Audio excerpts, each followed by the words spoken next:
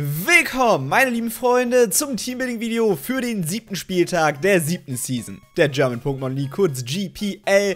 Es geht ran gegen das Team Crinchilla, geleitet vom lieben Captain Cringe. Und damit haben wir die Hälfte erreicht, beziehungsweise über die Hälfte, weil es gibt 13 Spieltage, wir sind jetzt an Spieltag 7 und wir wollen natürlich heute wieder einen Sieg einfahren. Das wird nicht einfach, denn das Team von Richard ist sehr gefährlich. Und ich würde sagen, wir gehen auch direkt mal auf das Team vom lieben Richard ein. Und zwar da hier mit am Start oder potenziell mit am Start Felinara, Meistergriff, dann noch Duraludon, Rotom, Rasenmäher und Austausch MA. Da haben wir noch Chillabell, Silvaro und Monte Carlo und zu guter Letzt Goofer, Kommandutan und Alola Digtri. Womit rechne ich denn? Also ich bin mir sehr sicher, dass er Meistergriff mitnimmt. Das ist für mich gesetzt. Eigentlich genauso wie Felinara. Diese beiden ST-Pokémon kann er eigentlich auch fast immer mitnehmen in Kombination und auch gegen mich sind sie gut. Duraludon ist für mich auch ein sehr gutes Pokémon gegen mich. Den sehe ich auch auf jeden Fall. Und dann ist natürlich die Frage, was er mitnehmen will. Rotom Rasenmäher ist nice, weil ich habe Rotom in der Waschmaschinenform, so, das ist halt ein perfekter Check dafür.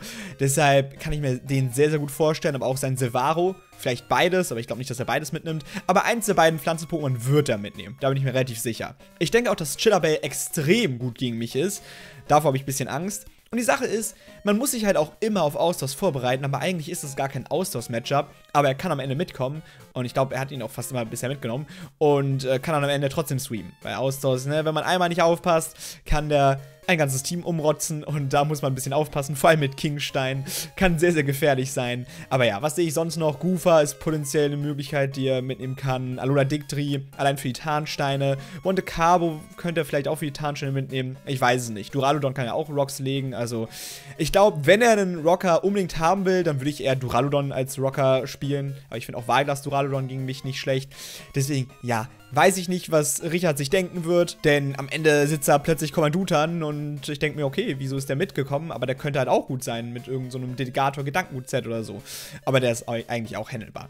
Na, in jedem Fall würde ich sagen, fangen wir einfach mal an mit meinem Team. Und zwar haben wir an allererster Stelle direkt Mautzinger am Start, das allererste Mal mit dabei und damit habe ich nun alle meine Pokémon aus dem Team mindestens einmal verwendet und das ist schon mal sehr, sehr cool. Und wir haben hier einen offensivfesten Mautzinger, denn ich finde, dass dass dieses Duraludon sehr gefährlich ist. Also wirklich sehr gefährlich. Und ich habe da nicht wirklich Switch-Ins für, außer Mautzinger mit der Offensivweste. Denn der ist jetzt speziell defensiv nicht so gut. Mit der Offensivweste kann ich das dann so hoch pushen, dass ich in Duraludon reinkommen kann und zweimal einen Draco zum Beispiel abfangen kann oder Donnerblitz. Denn ich äh, gehe erstmal auf das Investment ein, bevor ich auf die Attacken eingehe, weil das ist ein bisschen weirder, aber es ergibt Sinn. So, wir haben erstmal 108 in der Initiative. Das ist so viel, um ein Felinara zu outspeeden, was 20 EVs in die Init reinpackt. Wenn er mehr reinpackt, dann ist das so, aber dann verliert er relativ viel Bulk. Und außerdem hoffe ich, dass Meistergriff ebenfalls langsamer ist.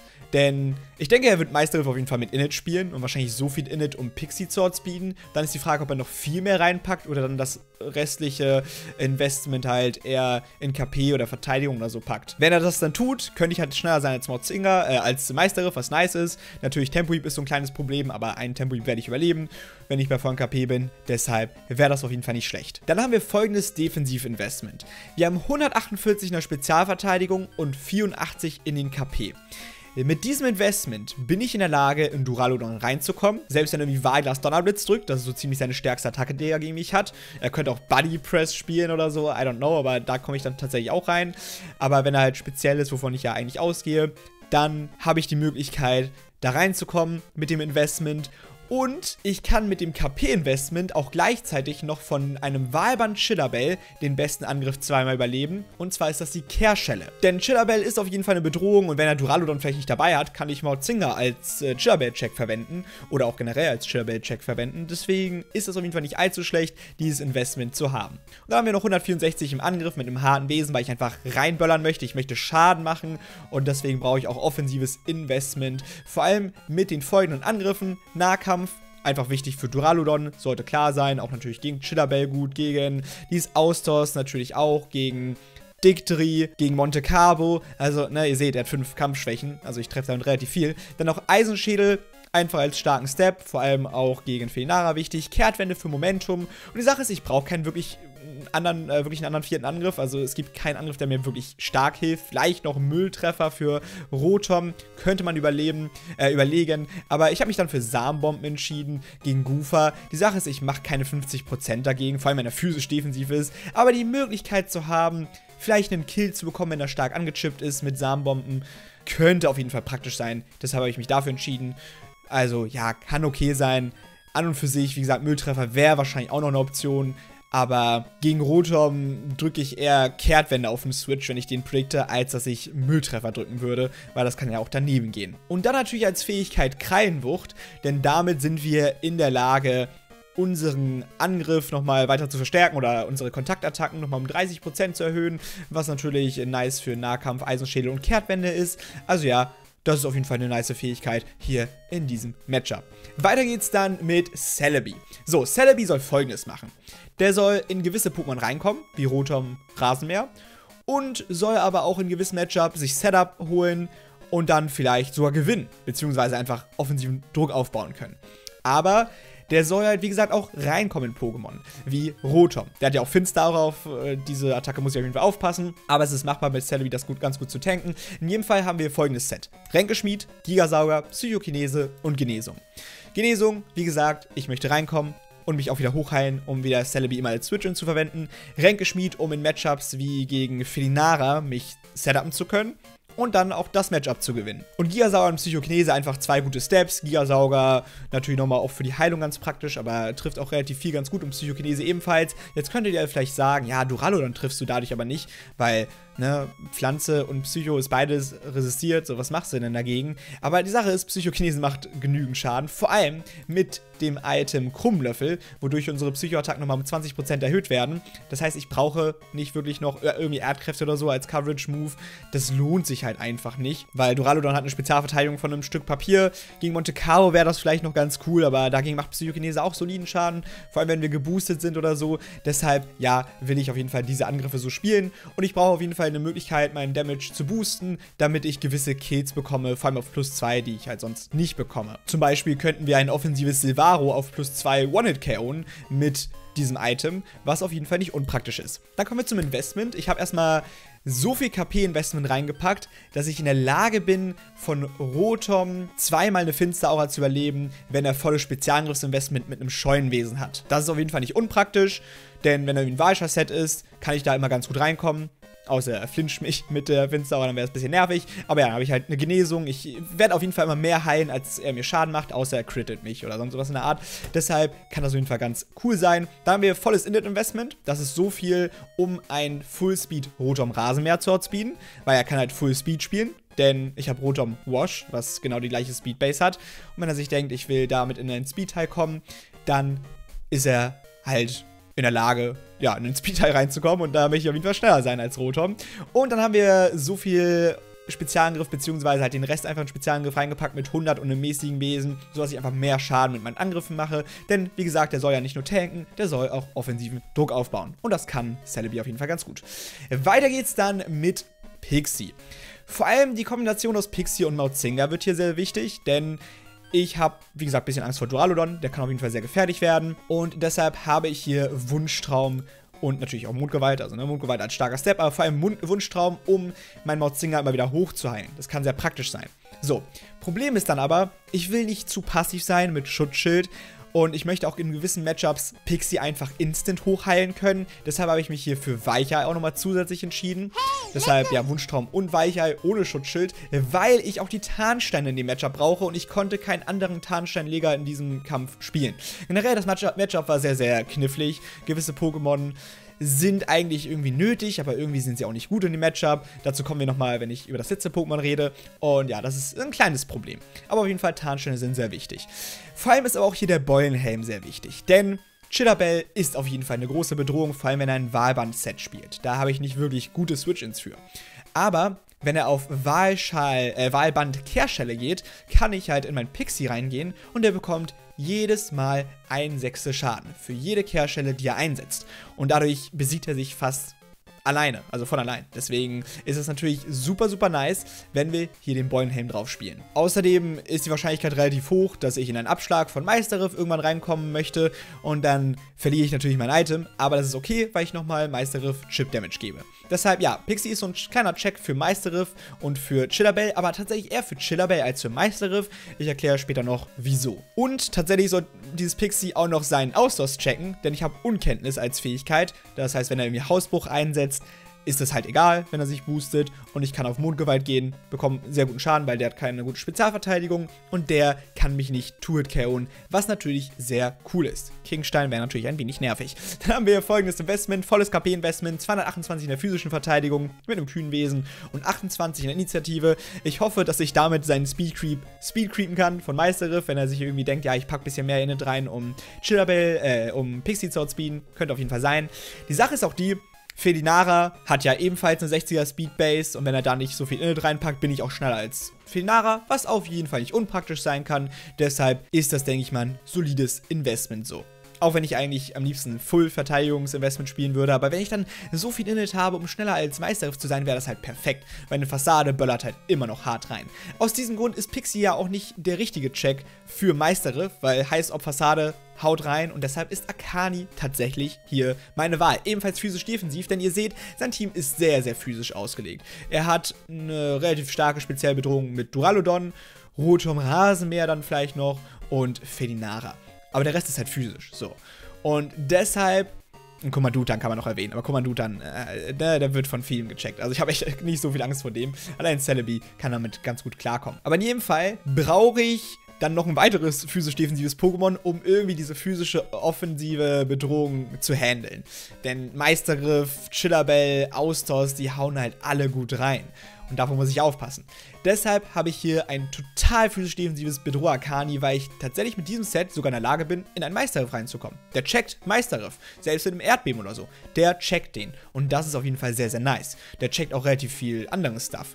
Der checkt natürlich auch Silvaro. Der checkt Felinara in der Theorie. Also ein spezielles Felinara checkt er halt auch. Monte Carlo checkt er sogar. Also selbst wenn er Monte Carlo irgendwie am Ende des Tages spielt mit Schwächenschutz oder so, der checkt den halt. Also das ist halt insane. Akani ist gut. Der checkt sogar Alola Dictri, Leute. Wenn Alola Dictri ein Fokusgurt-Set ist, dann kommt Akani in ein Erdbeben zweimal ohne Probleme rein. Vor allem mit den Plateauschuhen. Deshalb wollte ich diese spielen, weil wenn die Tarnstelle liegen, will ich trotzdem die Möglichkeit haben, immer safe in Akani reinzukommen. Natürlich kann es sein, dass ich mein Item verliere gegen Meisterriff. Deshalb wird das ein lustiges Spiel. Vielleicht gehe ich erstmal auf den ersten Abschlag in Pixie rein und später dann erst in Akani. Vielleicht nicht instant, weil ich will eigentlich die Plateauschuhe nicht verlieren. Kommt aber auch darauf an, ob er überhaupt einen Tarnscheinleger im Team hat. Naja, so viel dazu. Dann kommen wir zu den Angriffen. Flammenwurf und Turbotempo. Flammenwurf, ein solider Step, ist auch besser als jetzt Flammenblitz oder so, weil ich mir erstens keinen Rückstoß mache und zweitens ist das gut gegen sowas wie Austoss, weil der hat eine schlechte Spezialverteidigung, wie gesagt. Es ist gut gegen Meisterriff, weil die physische Verteidigung da besser ist als die spezielle. Es ist einfach generell gut, auch gegen Duraludon zum Beispiel. Turbotempo brauche ich aber als Prioritätsattacke, super wichtig. Toxin, um gewisse Matchups einfach besser zu gestalten, gegen Monte Carlo, gegen Felinara zum Beispiel ist es halt alles nicht allzu schlecht und Morgengrauen natürlich für die Heilung. Ich habe hier lange überlegt, ein offensives Akani zu spielen. Lange war Wahlband, Lemorb oder so dabei, weil der ist echt stark gegen ihn. Schaut euch sein Team an, schaut euch seinen offensiven Akani-Switch-In ein. Also er hat keinen Switch-In für ein offensives Akani, so rum. Und deshalb könnte ich das auf jeden Fall spielen. Wobei, einerseits hat er schon einen Switch-In mit Goofa, ich könnte halt Stromstoß spielen und so weiter und so fort. Aber Problem ist halt, der ist dann sehr selbstzerstörerisch und ich bräuchte eigentlich auch Morgengrauen in dem Set, aber ich brauche in der Theorie auch vier Angriffe oder Toxin oder so. Ich habe da viel herumprobiert und am Ende des Tages habe ich gesehen, okay, wisst ihr was, ich muss ein physisch defensives Sakani spielen, äh, auch weil ich Rotom rausgelassen habe, wozu ich gleich noch kommen werde. Und deshalb, ja, ist dieses Akani so entstanden und ich denke, das ist auch gut. Komplett physisch defensiv, wie gesagt, und letzten vier in Init, falls er halt irgendwie Speed Creep oder so. Äh, es ist total egal, wo ich die am Ende des Tages reinpacke, sehr wahrscheinlich. Deshalb habe ich mich am Ende für Initiative entschieden. Weiter geht's dann mit Lauchzelot, dem richtig starken offensiven Breaker hier in diesem Kampf. Denn er hat keinen Switch in den Wahlband Lauchzelot. Der existiert einfach nicht. So, er hat natürlich eine Möglichkeit, in einen Nahkampf reinzukommen mit Felinara, aber ich kann halt auf Gift-Typ gehen. Dann ist er weg. Und wenn er speziell defensiv sein sollte, dann äh, wird ein Nahkampf sogar ein Turret-KO. Deswegen ja, Wahlband Lauch, Lauchzelot böllert rein. Ich habe auch lange über Wahlschalen nachgedacht. Das wäre nicht schlecht natürlich gegen ihn. Aber Wahlband ist einfach als Breaker natürlich um einiges besser. Und ich mache mit Überrumpler gegen viele Pokémon einfach schon so viel Schaden, gegen sowas wie Chillerbell, auch gegen Alola Dictri mache ich 60% oder so. Äh, gegen Rotom Mo ist das nice, gegen Kommandutan in der Theorie, auch nochmal diese Priorität, diese Wahlband-Priorität gegen dieses Austausch zu haben ist cool. Also Überrumpler ist stark. Deshalb, ja, Wahlband Überrumpler ist hier meine Wahl. Dann haben wir noch Gift-Typ, wie gesagt, für dieses Felnara. Und dann habe ich überlegt, ob ich Sturzflug oder Auflockern spielen will. Ich habe mich am Ende für Auflockern entschieden, weil ich Rotom, wie gesagt, nicht dabei habe. Und ich brauchte irgendwie Auflockern im Team. Sicherheitshalber nochmal, wenn die Tarnstellen doch gefährlich werden, möchte ich vielleicht noch diese Möglichkeit haben, die wegzubekommen. Und Sturzflug wäre zwar cool gegen Meisterriff, um safe einen One-Hit-KO zu machen, aber Wahlband-Nahkampf böllert den halt auch fast schon um. Deshalb ist das, denke ich mal, so okay. Dann kommen wir zum Investment, 100 Initiative, das ist so viel, um einen Meisterriff zu outspeeden, was komplettes Init-Investment hat, aber ein hartes Wesen spielt. Wenn er ein frohes Wesen spielt, dann ist er halt relativ schwach gegen mich, also nicht schwach, aber er macht halt nicht so viel Schaden. Sehe ich nicht unbedingt und deshalb habe ich mich für dieses Investment entschieden, dann voll in Angriff investiert mit einem harten Wesen und 156 in die KP reingepackt. Und so vielleicht auch schon zu Lauchzelot. Relativ eindimensional, aber sehr effektiv. Auch hier natürlich mit der Fähigkeit Scrappy. Es wäre cool, die äh, Fähigkeit felsenfest zu haben, dass wenn ich geflincht werde, meine Initiative um eine Stufe steigt, weil der hat ja auch sowas wie Kingstein-Optionen, ne? Wäre schon gar nicht mal so uncool. Aber nee, äh, ich brauche es einfach, um auch gegen Silvaro einfach Nahkampf drücken zu können, damit ich da nicht irgendwie groß predikten muss oder so, ist es auf jeden Fall sehr wichtig. Und zu letzt haben wir dann noch Sneebel. Und Sneebel war lange so ein Wackelkandidat. Generell, der sechste Slot war ein Wackelkandidat. Ich habe lange über Rotom nachgedacht, einfach nur nochmal, um einen zusätzlichen Check gegen Austausch zu haben. Aber allein wegen Rotom könnte ich mir auch vorstellen, dass er Austausch vielleicht gar nicht mitnimmt. Und selbst wenn er es mitnimmt, Pixie kann ihn checken. Akani kann ihn in der Theorie auch ein bisschen mitchecken sogar. Äh, mein Mauzinger kann ihn ein bisschen mitchecken. Ich habe Priorität auch nochmal mit Lauchzelot und so. Also es ist möglich, den zu handeln auch ohne Rotom Wash. Und ich will mich darauf nicht zu sehr fokussieren, Rotom Wash mitzunehmen, wegen einem Pokémon, was sehr gefährlich sein kann, auch in diesem Matchup natürlich. Dafür dann ein Pokémon mitnehmen, was eigentlich gar nicht so gut in dem Matchup ist, finde ich ein bisschen schwierig. Weil Rotom Wash wird halt so hart von sowas wie Rotom Rasenmäher abused, also Rotom Mo. Und das ist halt auch sehr, sehr problematisch, weil der kommt halt immer rein. Ich kann natürlich auch Volt wechseln auf dem und so weiter und so fort. Und eigentlich wäre der auch cool vom Momentum. Aber es gibt auch viele andere Probleme, die Rotom einfach in diesem Matchup hat. Auch wenn er eigentlich, wie gesagt, gar nicht so schlecht aussieht, auch gegen Alula Dictri, Monte Carlo und so, aber dann Duraludon ist wieder ein Problem und es ist so schwierig. Rotom Wash ist so ein Wackelkandidat. Genauso wie Sneebel. Sneebel ist auch ein Wackelkandidat. Aber ich habe mir gedacht, okay, ich brauche noch ein schnelles Pokémon. Da wäre vielleicht noch ein Walschal-Pokémon gut gewesen, aber Rotom Wash Walschal war nicht so gut in dem Matchup. Ich habe sehr lange über den nachgedacht, aber der war nicht gut. Und andere Walschein-Nutzer habe ich auch nicht wirklich gesehen. Noctu vielleicht noch, wäre nicht so uncool gewesen, aber dafür hat er zu viele starke Prios mit Tempohieb und Eissplitter. Noctu hat nämlich keine gute physische Verteidigung. Und am Ende des Tages habe ich mich dann für Sneebel entschieden. Der ist schnell unterwegs, der böllert rein, hat auch nochmal Eissplitter als weitere Priorität, was nicht schlecht ist. Und er kann auf jeden Fall einiges machen. Kommt in den Speedtime mit Chillerbell, was auch nicht allzu blöd ist. Und wir hauen mit einem Leben-Offset ordentlich rein. Wir haben die Attacken Eistapfagel, Abschlag und Eissplitter. Äh, damit treffen wir eigentlich alles relativ gut. Dann ist natürlich noch die Frage, vielleicht Fußkick spielen. Könnte cool sein. Man könnte auch noch über sowas wie Gifthieb nachdenken gegen Felnara. Aber am Ende des Tages habe ich mich dann doch für Schwerthand entschieden. Denn Sneebel kann auf jeden Fall Wechsel des Gegners forcieren. Und wenn ich dann einen Schwertanz rausbekomme und das gegnerische Team schon stark angechippt ist, kann Sneebel komplett clean. Denn dann ist auch Tempohieb für mich egal, wenn Meisterriff bei 45% oder so ist, drücke ich auf plus 2 Eissplitter ihm genügend Schaden, um ihn wegzuhauen. Und äh, deshalb kann dieses Pokémon auf jeden Fall gut sein. Kann aber auch sein, dass er relativ früh stirbt, vielleicht vorher noch einen Kill mitnimmt oder einen wichtigen Abschlag rausbekommt oder so. Sneebel ist halt so ein Pokémon, was in diesem Matchup jetzt nicht super krass aussieht, aber auch nicht schlecht aussieht und schon irgendwo wichtig sein kann. Deshalb habe ich mich am Ende für Sneebel entschieden und ich denke mal, das kann seinen Job erledigen. Dann haben wir volles Init-Investment, volles Angriffsinvestment, frohes Wesen, letzten vier einfach KP. Wie gesagt, ich muss in einen Speedtime mit Chillerbell kommen, der hat auch 115 in der Initiative, deshalb muss ich dieses Investment so spielen. Und wir haben noch die Fähigkeit in der Fokus, also Konzentrator. Das heißt, wenn er irgendwie Kingstein, Eissplitter von Austausch einsetzt, um zu flinchen, kann er mich nicht flinchen, was auch nicht allzu schlecht ist. Und ja, so viel eigentlich auch zu dem Team. Ich fühle mich sehr weird mit dem Team. Ich würde sagen, das Team ist nicht schlecht gegen ihn, aber ich sehe halt auch so viele random Faktoren, die mir nicht gefallen und ich kann nicht das, ich, ich kann kein Team, glaube ich, gegen ihn bauen, wo ich dann am Ende des Tages sage, Alter, das ist perfekt gegen ihn. So, das kann man wahrscheinlich generell nie sagen, aber also, keine Ahnung, das, allein das sechste Pokémon, das hat mir echt viel Kopfzerbrechen bereitet und ich habe lange überlegt und ich hoffe, dass äh, euch trotzdem das Ganze gefallen hat und ihr ein bisschen was daraus mitnehmen konntet. Ich kämpfe gleich gegen Richard. Ich bin sehr gespannt, wie das laufen wird. Bewertungen und Kommentare sehr gern gesehen. Bis zum nächsten Mal und ciao.